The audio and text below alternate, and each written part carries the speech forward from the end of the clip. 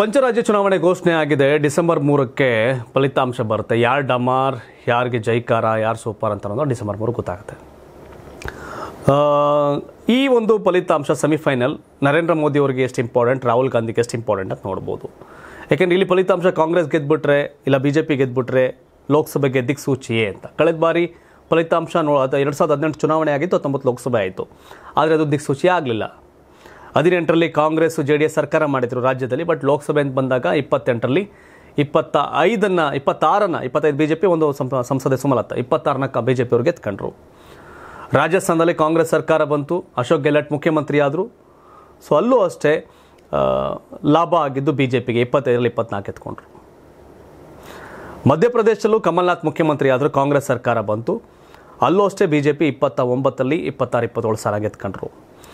ಛತ್ತೀಸ್ಗಢದಲ್ಲಿ ಚುನಾವಣೆ ಆಯಿತು. ಅಲ್ಲಿ ಕಾಂಗ್ರೆಸ್ ಬಂತು. ಬಘೇಲ್ ಸಿ ಎಂ ಆದರೂ ಅಲ್ಲಿ ಹನ್ನೊಂದರಲ್ಲಿ ಒಂಬತ್ತನ್ನು ಬಿ ಜೆ ಪಿ ಗೆದ್ಕೊಂಡ್ರು. ಮೂರೇ ಮೂರು ಕಾಂಗ್ರೆಸ್ ಗೆಲ್ತು.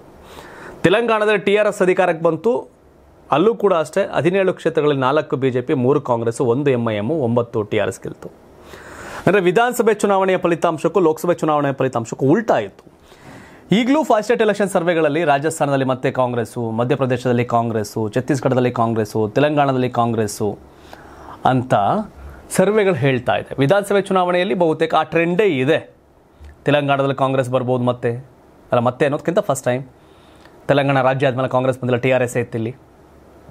ಛತ್ತೀಸ್ ಛತ್ತೀಸ್ಗಢ ಕಾಂಗ್ರೆಸ್ ಇದೆ, ಕಾಂಗ್ರೆಸ್ ಮತ್ತೆ ರಿಪೀಟ್ ಆಗುತ್ತೆ.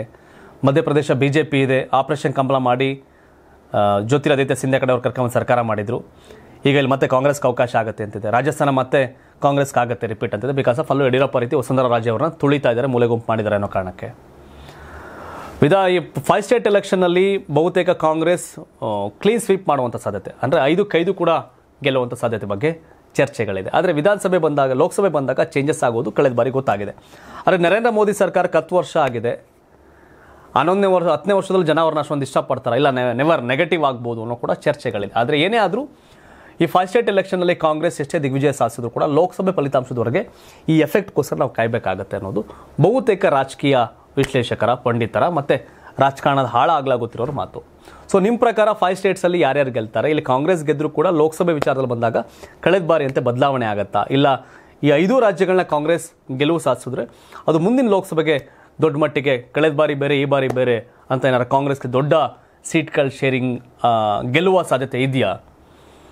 ಫೈನಲಿ ನಾನು ಮತ್ತೆ ಕರ್ನಾಟಕಕ್ಕೆ ಬರ್ತೀನಿ. ಕರ್ನಾಟಕದಲ್ಲಿ ಕಾಂಗ್ರೆಸ್ ಇಪ್ಪತ್ತೆಂಟರಲ್ಲಿ ಎಷ್ಟು ಗೆಲ್ಲುತ್ತೆ.